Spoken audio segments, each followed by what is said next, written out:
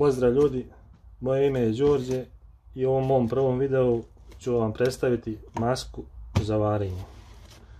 Ovo je moja maska koju sam kupio iz razloga prvenstveno da bi zaštitio lice i oči od varenja.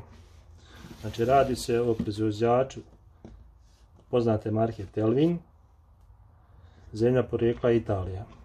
Ovo je konkretno maska Vantage Red XL, red znači crvena. E, maska se inače radi još u silver boji. Znači maska je upakovana u Uz masku još dođe znači uputstvo sa garancijom. Garancija je 12 mjeseci. To je još uputstvo za početno postavljanje maske uz znači, uputstvo dođu još e, prozirne zaštite. Dvije vanjske i jedna unutrašnja. Što se tiče same maske,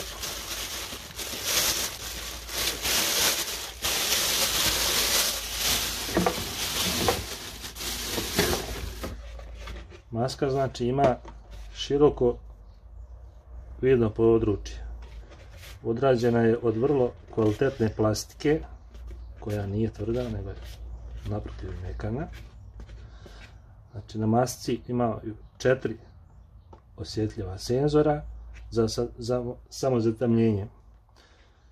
Maska se napaja pomoću solarnih ćelija. U masci imamo dvije baterije, znači maska ima baterije koje se napajaju na preko solarnih ćelija. Baterije su dugo vijeka i ima jedan indikator svjetla. Taj indikator kad se upali, znači potrebno je zamijeniti baterije.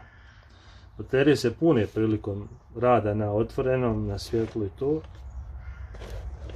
Znači imamo, maska ima kvalitetne trake koje su tri podesive, jedna je fiksna, ta je obložena. Znači fino stoji na glavi.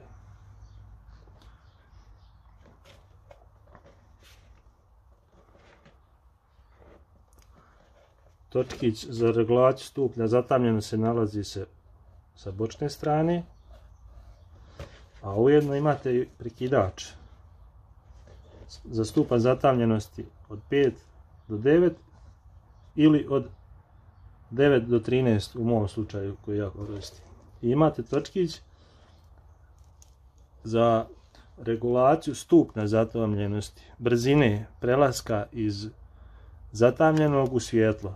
Znači to, možete da e, to se mjeri od 0,1, znači radi od 0,1 do 1 sekunde, zavisi kako vam odgovara. Topla preporuka za masku.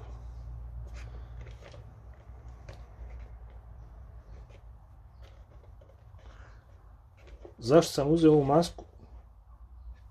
Ovu masku sam uzeo iz tog razloga što sam imao jednu normalnu masku